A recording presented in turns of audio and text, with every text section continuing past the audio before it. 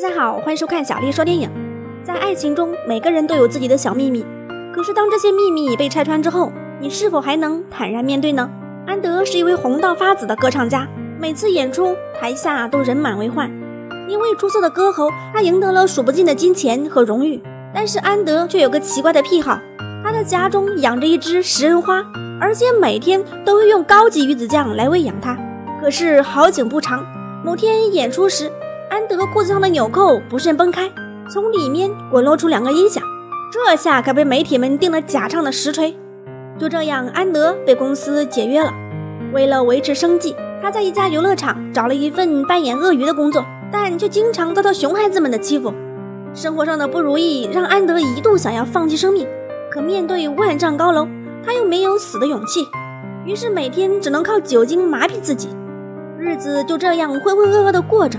直到有一天，安德在地铁站偶遇到了一名美丽的女子詹妮，他动心不已。可惜詹妮却没能赶上地铁。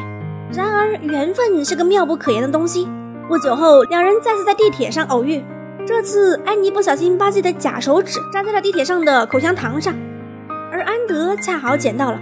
次日，安德站在窗边唱歌的时候，不慎将他的纽扣掉进了詹妮的衣服里。随后，他在取回纽扣的同时，也将詹妮的手指还给他。早已情投意合的两人就这样顺理成章地走到了一起。然而，安德不知道的是，詹妮有个特殊的癖好，她每天都去肉店里和老板做交易，来换取两袋子肉。而他换取肉的理由，竟只是为了养活自己浴室里的那条鳄鱼。对这些毫不知情的安德，很快就为詹妮倾倒了。他带着自己的食人花来到了詹妮家。可浴室里的鳄鱼也许是饿了的缘故，一直不安分。詹妮一边哄骗安德，一边在安德的咖啡中下入安眠药。然而纸永远包不住火，安德逐渐发现了端倪。这一天，他偷偷地交换了两个人的咖啡杯，也由此发现了詹妮的秘密。惊讶的安德连夜带着食人花逃走了。从此，两个人的生活又回到了原来的轨迹，仿佛从未相遇过。在爱情中，谁也无法说清楚谁对谁错。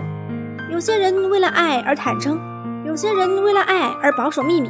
不可否认的是，詹妮一定是害怕失去安德的。但是欺骗从来就不能使爱情走向永久啊！